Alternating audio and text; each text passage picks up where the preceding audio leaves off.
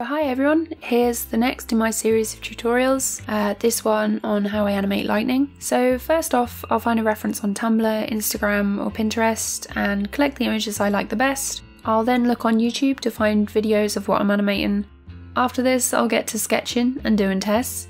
Here's a few I did earlier. I've slowed these down a little so you can take a look at the frames. I think they work quite well, though these strikes are without a whiteout, they're not in a scene and they don't have a glow, which I'll be talking about in a bit. I always have a few blank frames in the beginning, just around 10 to give a bit of a gap. To start off, I'll animate the lightning strike coming into the frame like this. After that, it's the full lightning strike. I use a 10 or 8 point round brush to create the main strike of lightning, and then either with a grey brush or on a new layer with a lowered opacity, I use a 3 point brush to add several smaller lines branching out.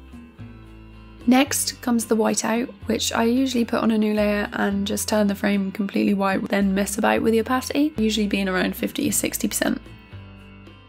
The next frame is where the lightning begins to dissipate or fracture, and this is where you can use a thinner brush to reduce the lightning strike in width. Throw a couple of gaps in there to show it's fading, and the next frame is the same process but more extreme. So lots of gaps and a few marks just to show where the lightning was as it returns back to the blank frames.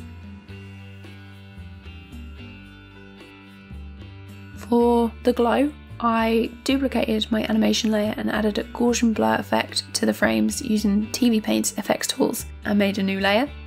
I used a white textured brush to roughly go over the lightning on each frame and then went to the effects, stylize, and then glow from the drop down menu. I set both the width and the height to 20 and changed the colour from white to purple. I selected apply on current layer, all instances, and heads before hitting apply effects stack. And this was the result.